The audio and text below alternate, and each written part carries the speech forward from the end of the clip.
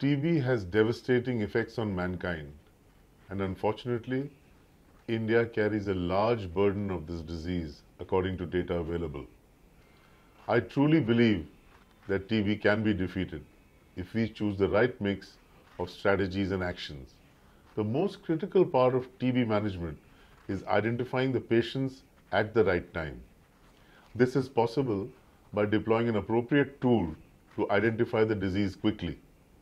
Cepheid, one of Danaher's operating companies, has globally supported various countries in their TB programs, including India.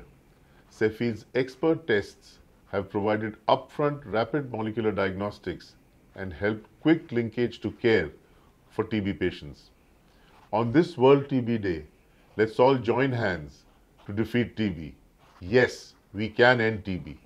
I'd also like to take this opportunity to wish the very best to our clinicians and the national program in this fight against TB. Thank you.